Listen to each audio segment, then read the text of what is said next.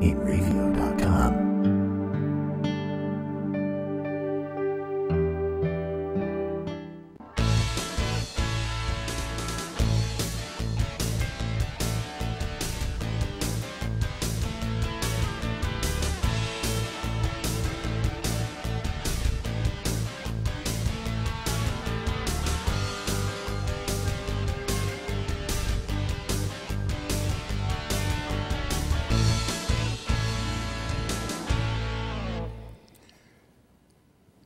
Hello again, everybody. This is Joe Larson, and you're watching the Five Off Five On Racing Show.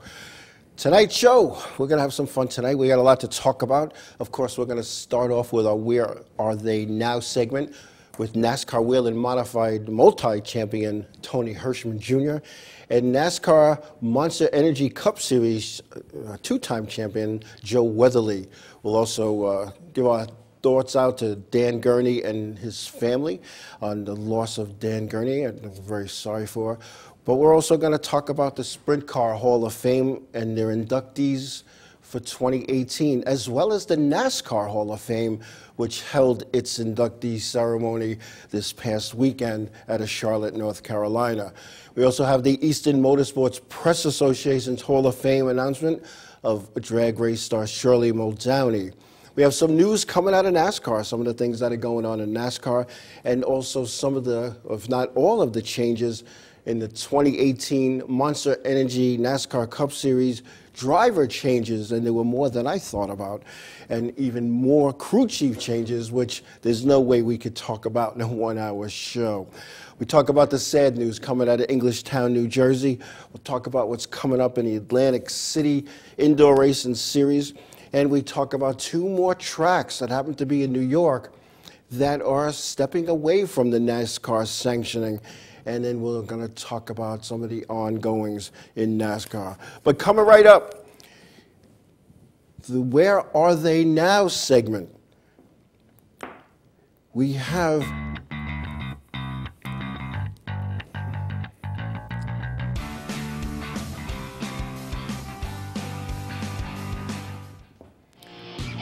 Alrighty, five-time NASCAR Whelen Modified champion Tony Hirschman Jr. at a Northampton, Pennsylvania. He, uh, in two years and seven events in the X Series, Xfinity Series, I'm sorry. He was also a driver in a K&N Pro Series East with one win in 47 starts there. Spanning four seasons in the K&N Pro Series East, uh, and Rookie of the Year in 1992. He was with the Mod Tour from his exception, its exception in 1985, ending his modified driving career in 2007. He had 35 victories and five championships in 95, 96, 99, 2004 and 2005. He won the coveted Sunoco Modified Racer Champions four times. Tony was named one of NASCAR's modified top 50 drivers. Hirschman had 41 poles on his modified tour stint, and only Mike Stefanik had more Whelen modified poles than Tony Hirschman.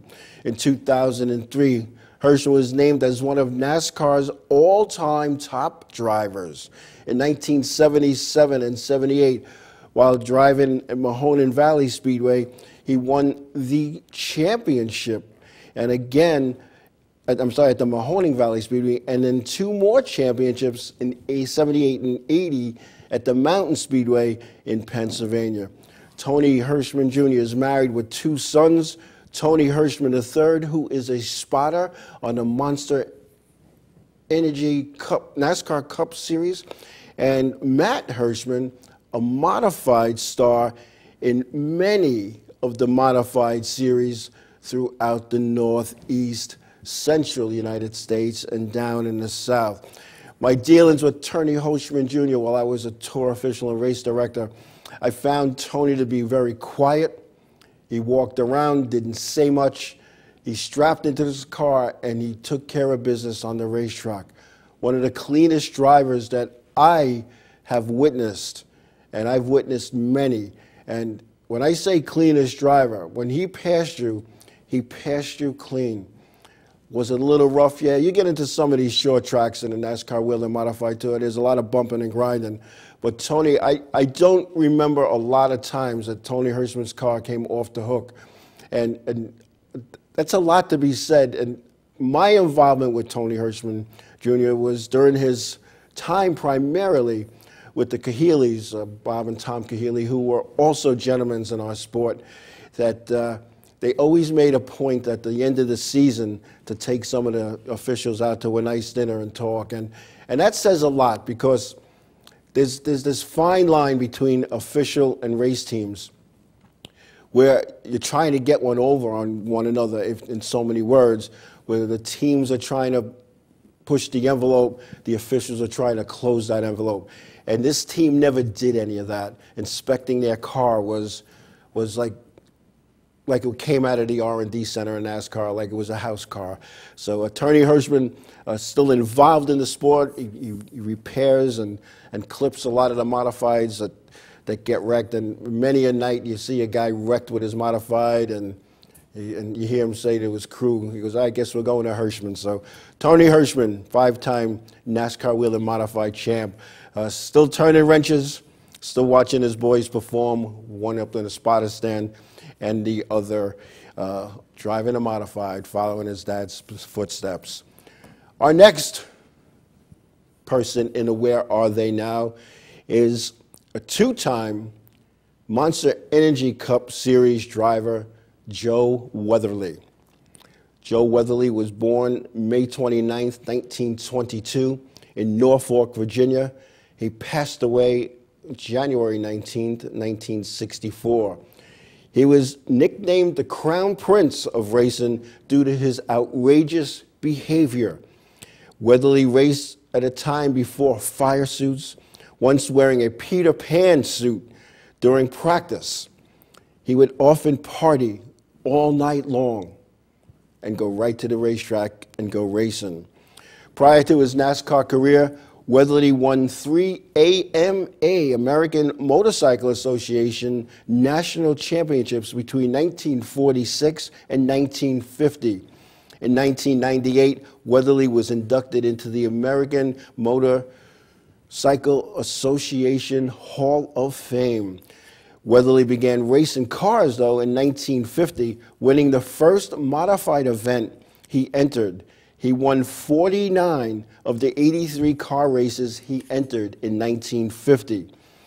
He was the NASCAR Modified National Champion in 1952, again winning 49 of the 83 races he entered. In 1953, he was the Modified National Champion again, this time winning an astounding 52 races in the Modified Series. In 55 and 56, he was a part owner of what is now known as Richmond International Raceway. After selling his shares of Richmond, Weatherly entered the Grand National Series, driving a factory-sponsored Ford for Pete DePaolo Engineering. For the next two seasons, he drove for the Holman Moody Group.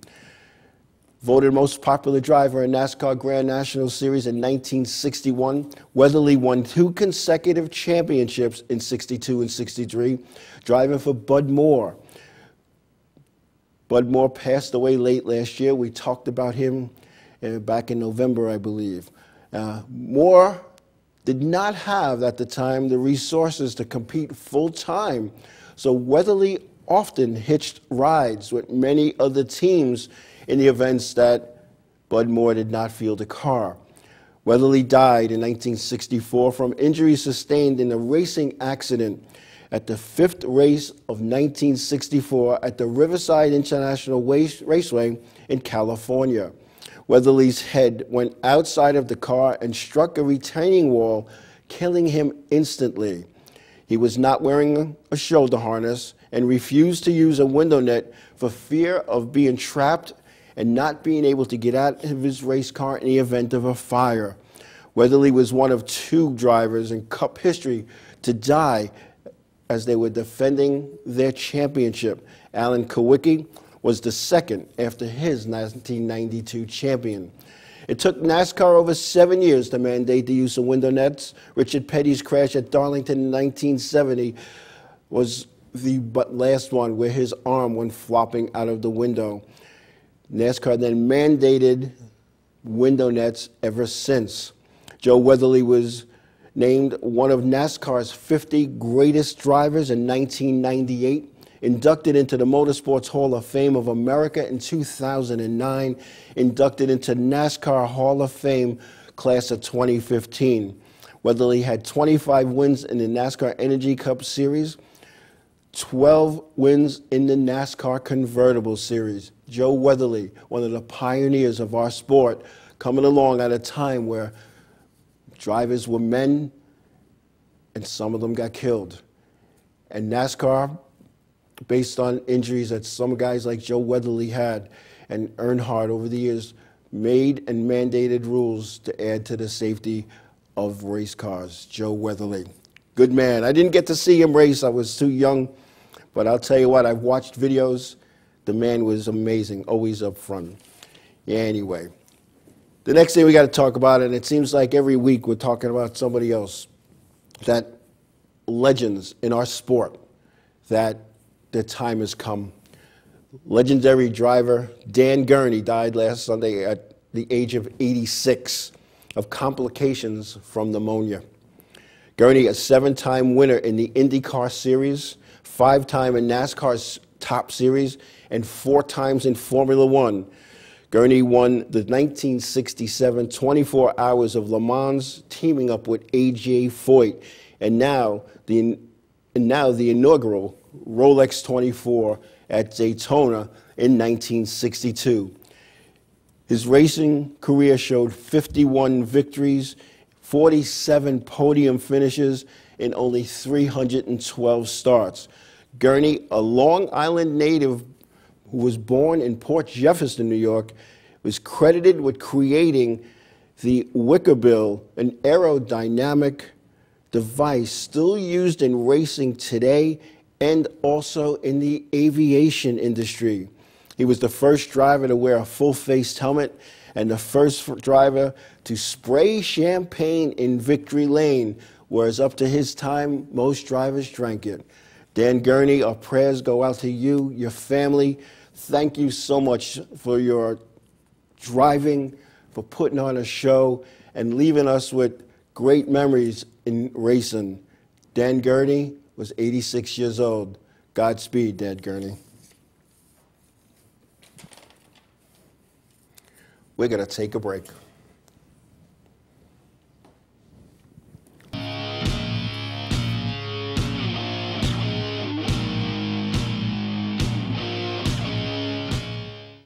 Hey, what's oh? I said was gonna say what's up for some reason. Hey, we're set it up, and you're watching the Inravio TV network.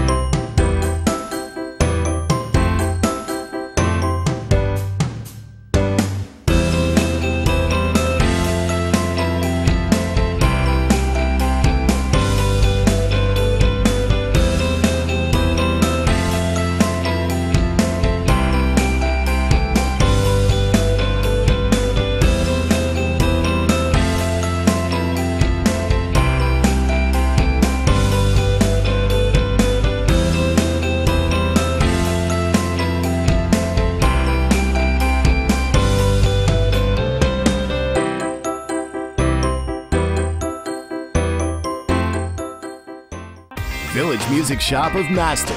1 800 Hey Dude, your full service store with personalized attention, school band instrument rentals and sales, music instruction on all instruments for all styles and age groups, for guitars, drums, amplifiers, PA systems, and accessories. It's Village Music Shop.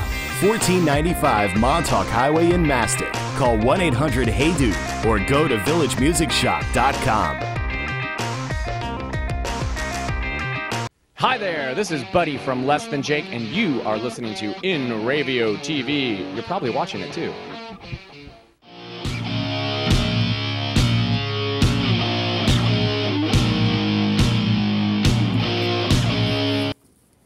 Welcome back.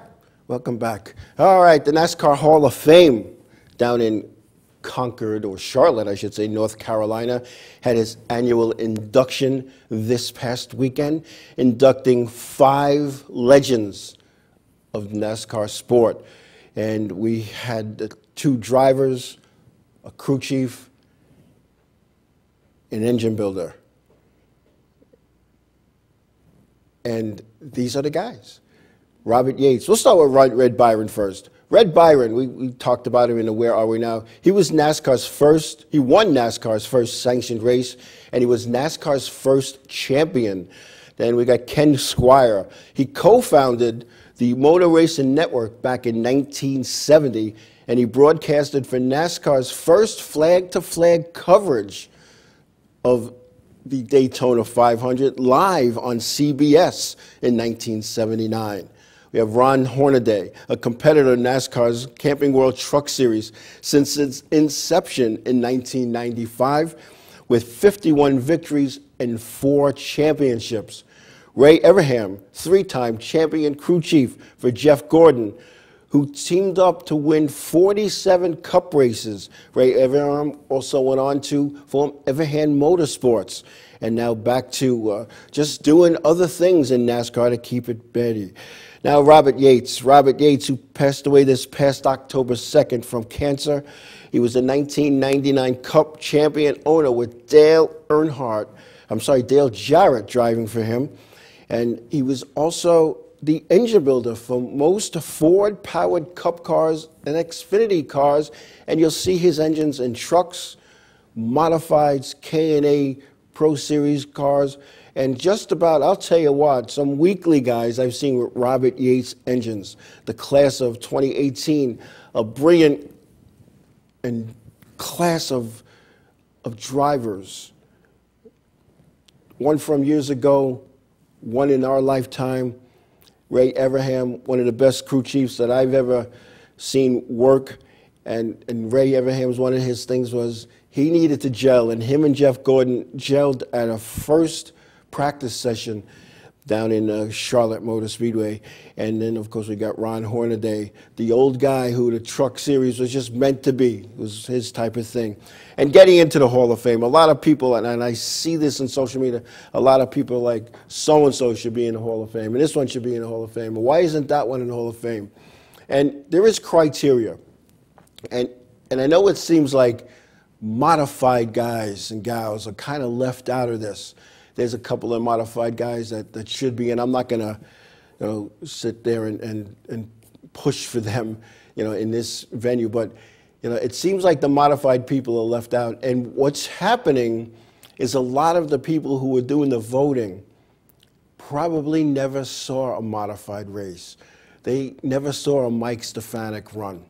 They never saw a Tony Hirschman Jr. run or when his time comes, a, a Donny Lia or a Doug Coby. Even with today's racing being broadcast all over the world, the modifieds don't get that recognition.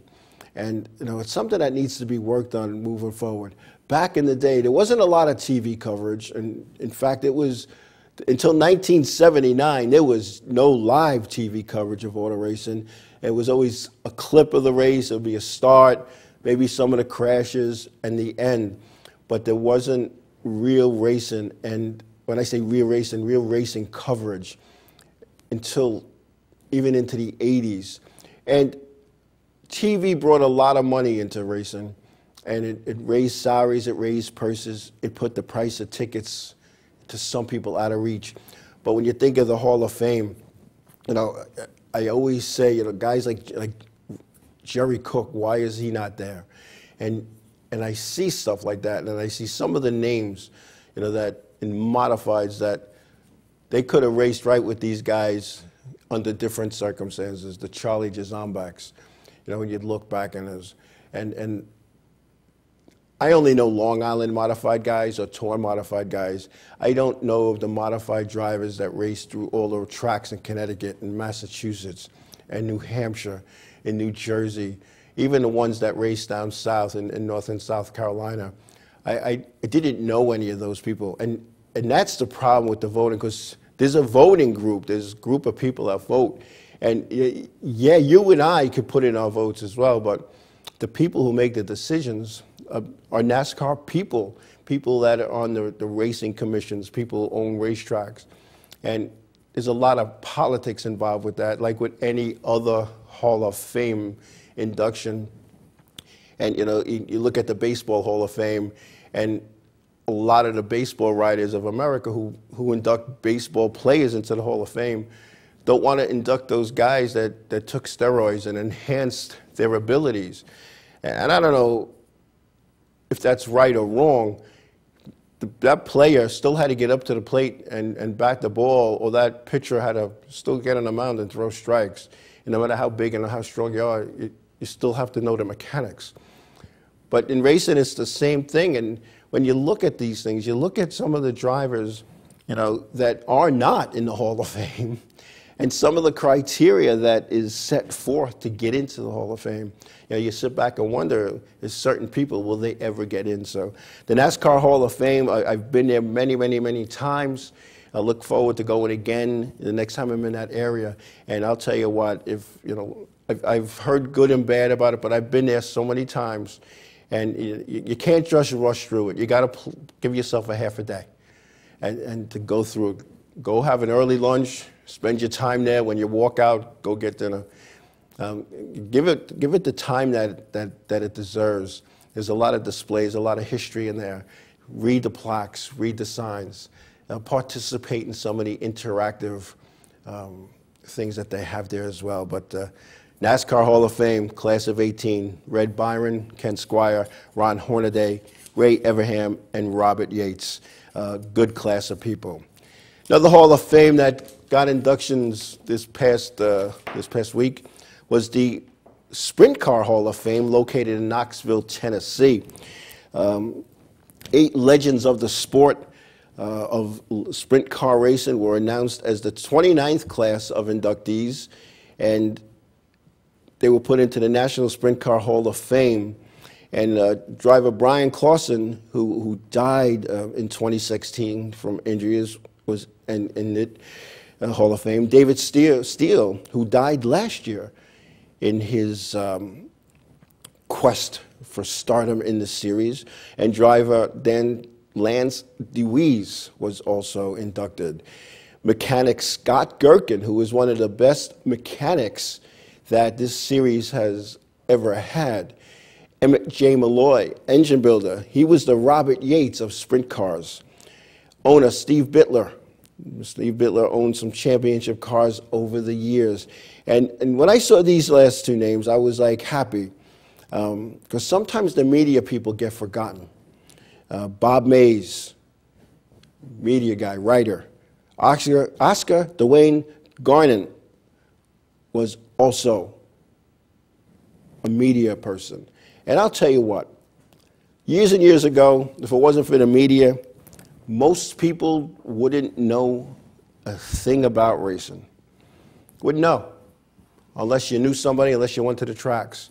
But back in those days, there were not just racing papers like we have today, there were local racing papers, but the newspaper the local sports page in that local newspaper had, had like a whole page of auto racing, especially for the local stuff.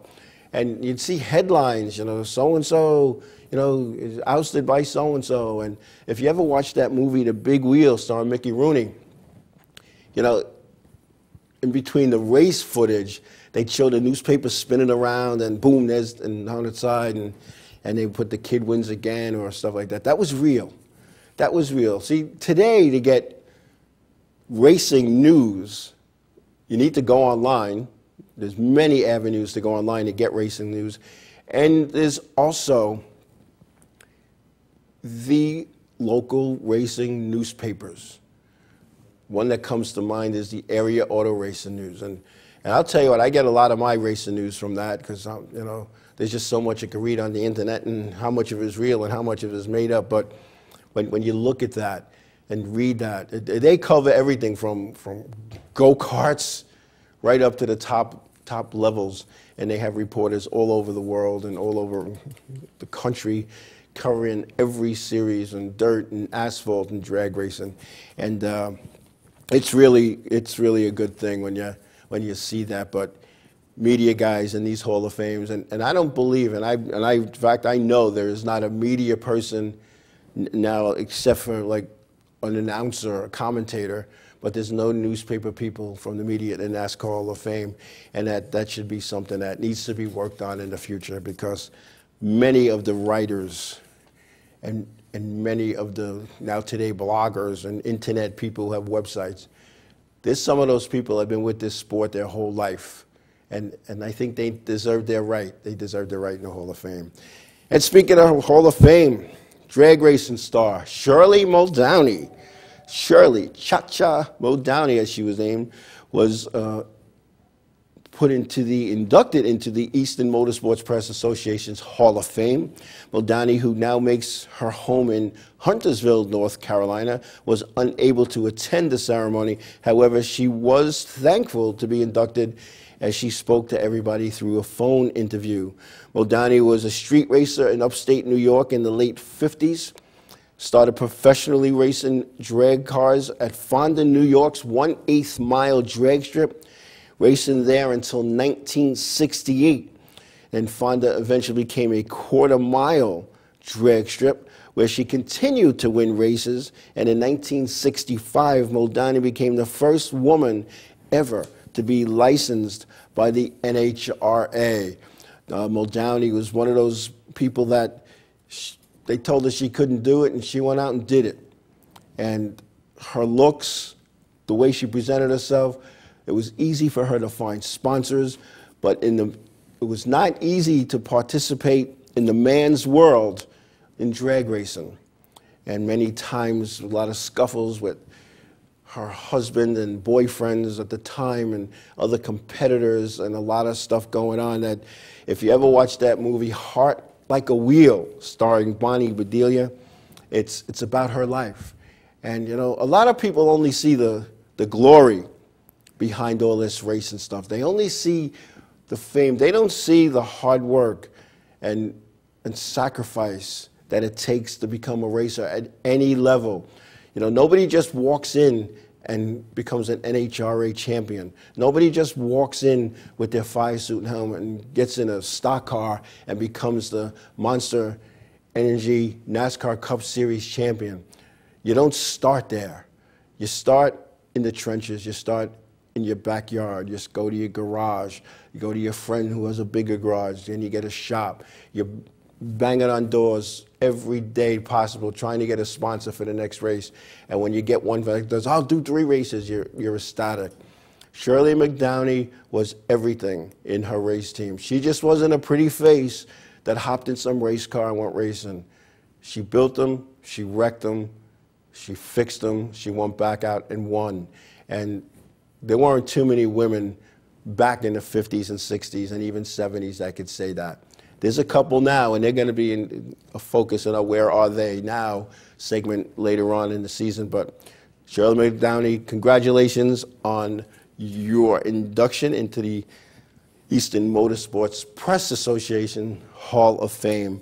An honor at any level, and I've said it before, any time that your name is associated with a Hall of Fame, it's a proud moment. We're going to take a break. We come back, we're going to talk about some NASCAR news and what stuff's going on for 2018 when we come back.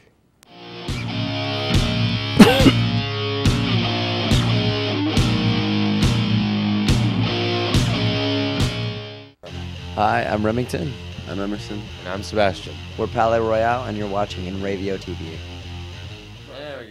The world of advertising has changed. Radio, TV, and newspaper revenues have declined drastically. Why? Because businesses have realized that advertising return on investment isn't what it used to be. So, what can we do about it? Well, that's easy. Advertise online. Own a local restaurant, real estate agency, or even a national retail chain? Whatever your business, InRavio can get your message out there, and we can do it at a fraction of the cost. Call today and see the difference for yourself. This isn't TV. This isn't radio. This is InRavio.com. Hey, this is Chris West Jake, and if InRavio.com spots you at an event wearing this bracelet, they will give you $100. Village Music Shop of Mastic. 1 800 Hey Dude, your full service store with personalized attention, school band instrument rentals and sales, music instruction on all instruments for all styles and age groups, for guitars, drums, amplifiers, PA systems, and accessories. It's Village Music Shop, 1495 Montauk Highway in Mastic. Call 1 800 Hey Dude or go to villagemusicshop.com.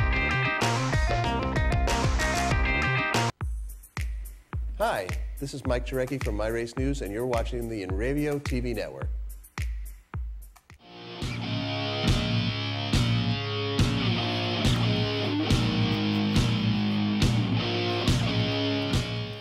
Hey, welcome back. NASCAR news 2018. Anybody headed for Speed Weeks for the Daytona 500 definitely needs to get a scorecard. A lot of changes, a lot of changes for 2018, a lot of driver changes, and a heck of a lot more crew chief changes. Like I said earlier, we don't have time to talk about all of that stuff. But anyway, looking at 2018 in the Monster Energy NASCAR Cup Series, Eric Almirola will be driving for Stewart-Haas with his sponsor Smithfield after leaving Richard Petty Motorsports. A lot go to be said with this Smithfield deal, and Richard Petty Motorsports really felt they had a handshake agreement for 2018. They're still working on something. But Eric Almirola, uh, looking for a, a, a, fresh start, so to speak, uh, at Stewart-Haas. Eric Almirola, for those who don't remember, broke his back midseason and uh, came back after rehab, after the doctors cleared him. We'll see what happens with Almirola and Stewart-Haas racing. Ryan Blaney left the Wood brothers, going to Penske. I don't know. I'm an old school, and, and not that I don't like Penske, but the Wood brothers have a good product. The Wood brothers look like they're on track to be competitors again. Penske is a competitor. Penske is a winner. He's a proven winner. Winner, but Ryan Blaney, just a young guy, and he's changed his image going to Penske. I, I believe he cut his hair, and he got rid of his mustache. He looks so different. Maybe he got to go and have a meeting with Roger Penske and says, dude, this, this has to go. Just like when Dale Jarrett came to UPS with Robert Yates, UPS had rules, clean shaven. He hopped into that 88 UPS Ford that opening day, then Speed Weeks at Daytona, the mustache was gone. His hair was cut short. I don't know. Alex Bowman will be driving 88 at Hendrick Motorsports. William Byron moves from JR Motorsports Xfinity number 9 car to Hendrick Motorsports' number 24. Landon Cassill leaves Front Row Motorsports to who knows where. Still seeking a ride for 2018. There's plenty of time. You got like two weeks. Uh, Jeffrey Earnhardt leaves the Monster Sports Group and he's seeking a ride in 2018. Now, I'm, I'm thinking your family owns a race team. um, I'm sure they'll find something. Something. Uh, we'll see. Dale Jr., retired after the 27-16, uh, finishing up at Hendrick Motorsports. He will be in the broadcast booth for NBC Sports NASCAR coverage. So that's good for Dale Jr.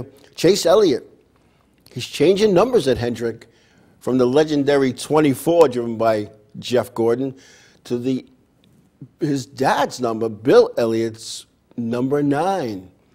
And I'll tell you what, no matter what car you get in at Hendrick Motorsports, you're going to run up front.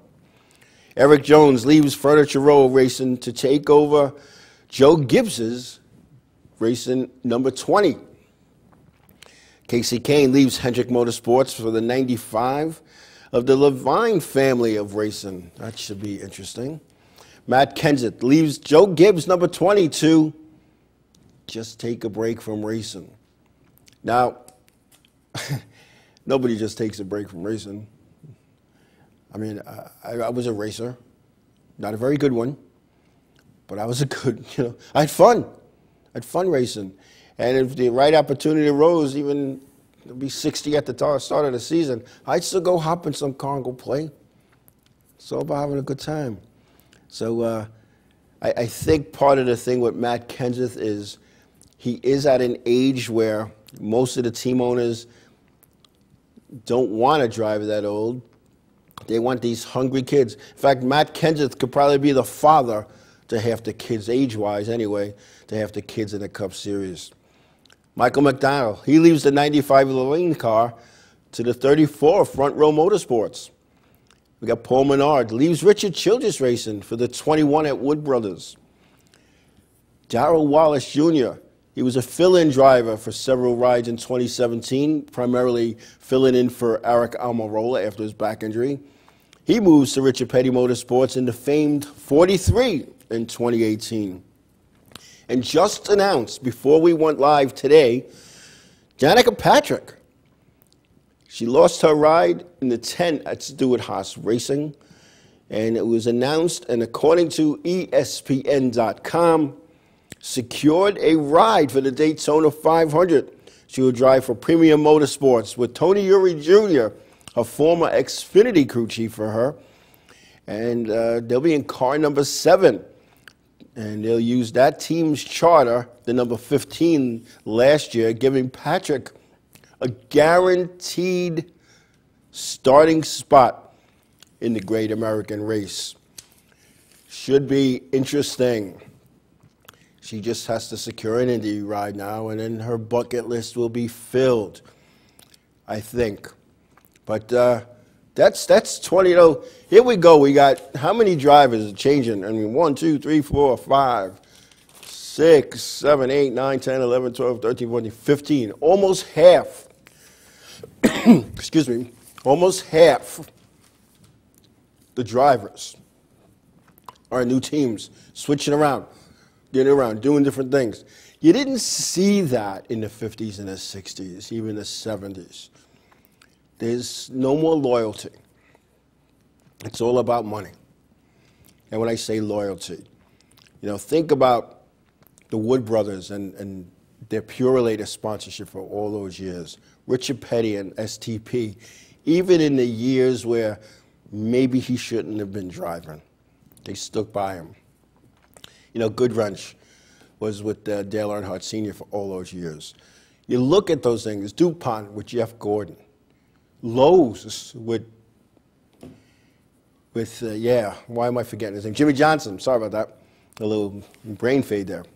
But when you look at those things, it's, it's a whole different era now.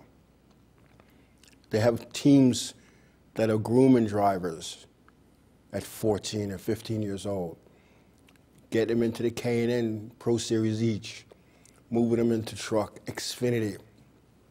Even some of these kids coming out of ARCA. It's just one of those things that it's not the same. It's not the same. Excuse me. But when you look at these changes, it's good for the sport. It's definitely good for the sport because you don't get that complacency. You don't get people who just sit there and just go riding around. You know, he, he said, you know, like, like Jay Slice is saying, you're watching a, a, Richard Petty interview, and Richard Petty said it's no longer racing today. It's a show with a race thrown into it. And, and I'll tell you what, I, I, I agree with that. And, and I was told that by the hierarchy of, of NASCAR while working a tower for an event. And it was like, all we do is put on a show. And, and, and we're in the entertainment business. And I didn't understand that then. And I, I kind of understand it now. But, you know, when, when you look at what comes in, these young guys, and, and somebody in the chat room was saying that, you know, now it's not your talent. They don't, team owners don't have a guy get on a plane, go up to Long Island, go to Riverhead Raceway, or go to Connecticut, go to Stafford Motor Speedway, go to you know Pennsylvania and, and go to Mountain and, and Speedway or Evergreen, whatever it's being called. Nobody's saying go to Wall Speedway down in New Jersey. Not doing it anymore. They're not going out looking for talent. They're developing their own talent. And, and it's based on, think about this. You're a team owner. Okay, all right, team owner, here I am. And I have a choice to put Joe Blow in my car, who's won everything he's driven championships in multiple divisions at multiple racetracks, touring stories wins. Joe Blow. Then I go to Pete Nobody. But Pete Nobody's coming with like 5 million, 10 million, maybe a motor deal, maybe even a sponsor. He's not that good. We'll teach him. He could be taught, he could be trained. But as a team owner, do I go for the million up front? Or do I go with this kid who is one in everything he's driven? And what do we do? What do you do? Mm. You got to go where the money is. Because that's maybe five million less I got to take out of my pocket. And that's what's happening now. You know? And and like some of these, you know, saying that some of these Joe Blows, you look at some of these kids today and they, they don't know how to talk to people. Or you see these young kids today, they talk like they're like President of the United States giving their inauguration address because they've been schooled. It's all about presentation. It's all about appearance. And I've said that for a long time. Put on a good appearance and make your sponsors happy. Speak well. They're going to be chasing after you with a microphone. You have your fire suit on. Acme Corporation. For that three minute interview, Acme Corporation is all over the globe on TV and the internet. And they tell me once it's on the internet, it's there forever. It's there forever. Think about that. You know, I, I, see a lot of these guys at the local racetracks. They take their fire suit off, they tie it around their waist with the sleeves, and they have a dirty T-shirt. Sometimes it's their friend gave them a T-shirt that races in a lower division at their weekly track. You know, they're not promoting their sponsors. Yeah, those seats can get hot sometimes. But you know what? The guy who's paying the bills, think about if he stops paying them. You don't have to worry about being hot no more. But you know, I, I look at these things and I and and I say, you know, what's what's going on? What is going on? You know, and it used to be when you walked around a garage area at a cup race or an Xfinity race or truck race, you knew that driver from his face. And, and why did you know that driver? Because he had a pair of slacks on and he had his nice, whether it was a button down shirt or a collared shirt with the team logo, maybe his name or her name. Today, you don't see that. They're in their jeans, their sneakers, and, and a t shirt. I mean, it's not a ripped t shirt or dirt, but they're in their t shirt that, and they avoid the crowd. They avoid the crowd. You know, so when you see stuff like that, you know, you, you got to stop and say, whoa, whoa, whoa. You, as a fan, have a right to know and see these drivers and meet them and have them sign your die cast, have them sign your hat, your shirt, whatever you have, a piece of paper and a notebook, a program. I was never big on autographs when I was chasing drivers. I was more into taking pictures. And then when I go in, and I, I imagine I had to send out the, the negatives or the, the, film to be developed and wait till they came back. And I didn't have the luxury of digital. I, you take the picture. No, oh, I don't like that one. Delete. Take it. No. But I took pictures, and when they, the pictures came back, I wrote on the back who it was, what track, what year. I have boxes and boxes of pictures. But today it's just so different, and and I hope NASCAR takes a look at that, and I hope NASCAR decides they need to rebrand the sport from the driver up. That's what they need to do.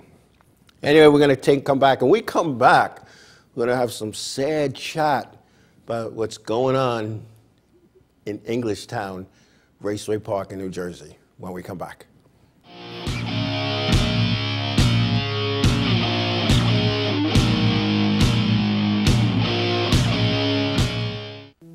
Hey guys, this is Jibs from Oceans 8 Alaska, and you're watching Inravio TV Network. Hey, I'm, I'm Raoul Panther. And I'm Commander B. Hawkins. And I'm Mert Weller. We're uh, some of the proto men. If we see you without this bracelet, you get punched in the. But if you have this bracelet from Inravio.com, you can win 100 bucks. Put one of these on, or else.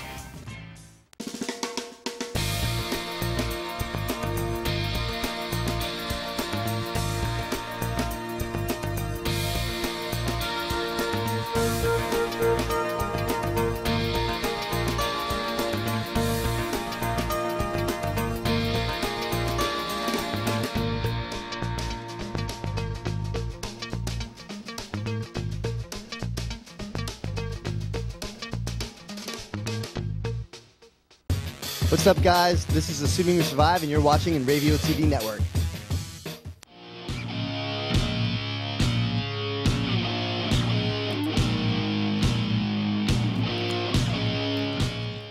Welcome back. Welcome back. Much needed break. Oil up my throat a little bit. I don't know. I, I was feeling better. I missed last week's show because I had the flu. I was feeling better, and all of a sudden I got this. This. Well, you could hear it, I'm sure, but I feel fine. Anyway, sad news. Englishtown, Raceway Park, an NHA race, NHRA shocker. Englishtown ceases drag racing operations, canceling the NHRA 49th annual Summer Naturals, Nationals. 53 years of drag racing history gone. News like this is heartbreaking.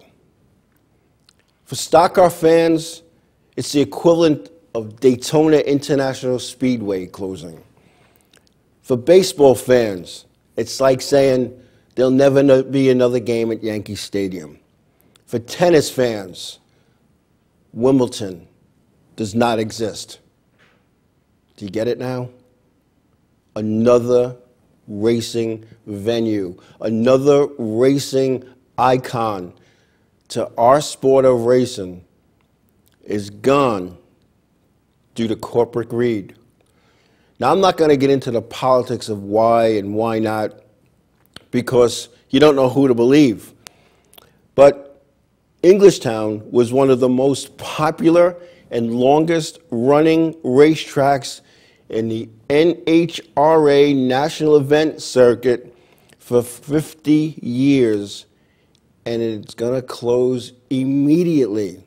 Not one more season, not a farewell race. Cease to operate and close immediately. This place has been around forever. The facility that it's located on, however, will remain open for motocross and other forms of racing, as well as concerts, flea markets, and other local events. This is a crusher. This is a crusher. And for those who, who don't know, I, I am kind of involved with Long Island Needs, a drag strip, and now more than ever, more than ever, Long Island needs a drag strip. Where are Long Islanders going to race drag cars? Millions and millions of dollars of equipment is sitting in garages and shops throughout Long Island that have now become even more useless. And, and it's, it's something that needs to be addressed. And, and the people who go and fight these things, these drag strips being built and open, these racetracks being built and open, um, are people who want they want to live in a storybook little world. They want to live in their own storybook little world. It's the old adage, yeah, they can have it, but not my backyard. And from the homeowners and property owners and politicians, and I say politicians because that's what they are, they tell you at your meeting, you're good to go. And they tell the other people, it'll never happen. And I witnessed that firsthand on many occasions. because I went to both meetings. And these people don't realize the money that's brought into their community. Think about, we'll talk about a drag strip. Four or 5,000 people attend for a, a small type of event. Four or 5,000 people attend. They're not from the neighborhood, they're from all over. So they, they, they have to buy food, they have to buy ice, they have to buy drinks, they have to stay somewhere. And, and I'm telling you what, I'm, I've been looking at my travel for 2018, and I never really had to take a look at what it costs to go to a venue. I never really had to take a look at what am I going to have to pay for lodging. It's, it's expensive. It's expensive, and, and unless you book months and months and months out, you might not even find a place to stay for that venue. But you know, when a place like Englishtown closes, and again, I'm not going to get into the reasons because I, I only believe half of them, and the other half were just to go against the first half, so it all balances out. But when, when you, you see that, you, you see a venue like this closing, and, and you're like, wow, how could that be? And, and the other thing that bothers me, this isn't something that one weekend the, the people went for a drink, go out to dinner or a cup of coffee. All right, we're going to cease operations here and effective Monday. Okay, Monday, Monday work for everybody? No, this had to be something that was done up over time. If they were, if they're getting out because it's not a moneymaker, bring somebody who in capacity can make some money. Let them give it, give them a year or two. If it's something that just has to be done because of the politics of the area, hey, give us one more year so we could have, have a nice farewell. So we could go out and say, wow, hey, let's, let's give tribute to some of these guys. You know, and when you, when you, think about these things, it's, it's sad. And for every racetrack that's closing, you don't see another one being built anywhere. And you could go into any of the real estate buy and sells, whatever, and you're going to find a racetrack or two or three. Some of them in, are the middle of nowhere. Some of them are right there, boom, right off the main highways. And you got to ask yourself, why did that not make it? And I could tell you why because some of the, the weekly track owners, it's not their bread and butter. It's, it's a group of guys and women, or a, a mix of everybody, who are trying to make a couple of bucks and they realize, whoa, whoa, good thing I have a day job here, that's when I'm making it. Instead of trying to make it successful, instead of buying a place and bringing in your own people, racing people who now how to make it work. Because at the end of the night, when you count your monies, after you paid your purses, paid your workers, paid your officials, paid your food and beer bill, hopefully at the end of the night there's a little pile left for your own self. And when that stops happening, especially when there's partners involved, everybody wants to bail out and get their cut. Let me go, Bob, you promised me I'd get a million at the end. Oh, I want my million now. First of all, when you're going to buy a racetrack, don't, and I'm going to give some advice here, don't buy it with a partner, okay, unless it's your wife or your husband. That's the only partnership I can see working out. Don't buy, because in every business partnership, there's the money and the brains. When the brains pull out, the money disappears. When the money pulls out, the guy with the brains doesn't know what to do because he doesn't have the money, because he has all these how did they say in Days of Thunder? I have a lot of dreams I didn't pay for yet. You can't let this happen, folks. We can't continue to let racetracks close, especially with the magnitude of Englishtown. Who can forget, at least here, you know, in the New York metropolitan area and into Pennsylvania and, and Jersey, the commercials that were on the radio back then, even on local TV, you know, with that high pitch, you know, that little laugh thing and says, Raceway Park, you know. Who can forget that? It's gone. It's gone. We take these places for granted. We figure, ah, they'll always be here. We don't have to worry about it. We'll make it happen. We'll, we'll definitely make it happen. But another venue bites the dust. Another one. Another one in it, and it's not, it's not pretty. It's sad. So Long Island needs its drag strip. Let's roll up the sleeves. Let's tighten up the belts. Put your good sneakers on. Because you're going to be in for a battle, and you can't lose it. You can't lose this battle. Anyway. Some good news this weekend at the Atlantic City Boardwalk Hall, the 16th running of the Gamblers Classic will be on hand, and we'll have the TQ midgets, the champ karts, and the slingshots. Two nights, nights of racing Friday and Saturday. Inravio.com and the 505 on Racing show will be on hand with yours truly and my daughter Kerry. Riverhead Raceway track photographer will also be on hand as she was commissioned by Earl Kraus to come in and, and take some, you know, pictures. And uh, it's a good opportunity for Kerry. And uh, I've been going to these indoor races in Atlantic City on and off since 1977 or 78 with my good friend Bill Stockert, former crew chief of my daughter and former racing party partner of mine back in the 70s. So it, it's a good show. It's two nights. Hun- when I say hundreds of cars show up for this, and they weed them out through time trials. I hate to use that term, but you know, tenth of a second means you're in the show or home. But uh, it's a it's a good venue.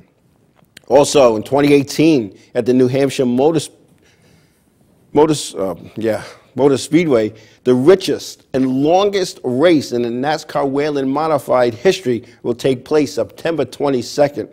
250 laps of modified racing. 25,000 to win. Area Auto Racing News has confirmed an additional 25,000 or more may be at hand as well. The mods will, will have a, a part, will be a part, I'm sorry, of a triple header called Full Throttle. Saturday on hand will be the NASCAR Pinty Series out of Canada, as well as the NASCAR K&N Pro Series East with drivers from NASCAR's Mexico and European series. And I'll tell you what, they're offering a million, a million, a minimum of $100 for leading a lap. Think about that. Think about that. This is going to be a big race for the modifieds, a race that um, the television has not been announced yet, but however, I'm willing to bet that there will be TV coverage for this race. 250 laps. They normally go 100. All those years under Bob Bahre and the last couple of years with Bruton Smith's ownership, 100 laps. And, and I'll tell you what, that was, that was some event. That was some event. I was up in the tower race directing many of those events at New Hampshire and also uh, towards the end of my NASCAR official career on pit road as an inspector. And um, it, it's going to be a good show. I'm telling you what. 250 laps of modified action. Anyway, anyway, that's about it for tonight. I mean, I, I know we talked about a lot of stuff, but I want to thank everybody for taking time out of your busy schedules to be a part of our show tonight, to watch, listen, chat in the chat room. Nice chat, folks always appreciate reading some of the comments that are made, and they all make a lot of sense. And my regulars, 22 Figure Eight, Jay Slice, you know, almost never miss a miss a show. Just like my old friend WJ, who was always on, and even when WJ wasn't listed, there was some some like top secret name that'd be under. But we had some some fun. Winnie, I think Winnie logs in at like six o'clock to get a good seat. I want to thank her for coming on, but but anywhere, every your endeavors bring And, and those are my friends going to Atlantic City for the Gamblers Classic, especially uh, my daughter's boyfriend, Vinny Delaney, who uh, is hoping to have a better pairing, pairing than he did at, the, at Allentown. But I want to wish all the competitors luck. It's going to be a little funny not having TC there because he put on a good show there. Rest in peace, big good buddy. But it's, it's an awesome show. And then to, to be there with my daughter while she's taking pictures, um, it, it, it kind of makes me like a proud papa. And uh, she wasn't a good driver, neither was I. But you know what? She, she can work a camera. And, and when the Earl Krause, who puts this venue together, says, I've seen her work and she knows what she's doing, that, uh, that made me proud. So uh, we'll have some fun in Atlantic City this upcoming weekend. Again, everybody be safe. And wherever your endeavors are going to bring you this week, also be safe. Give somebody a hug. Tell them you love them. God bless you all. And we'll be back next week with news from Atlantic City.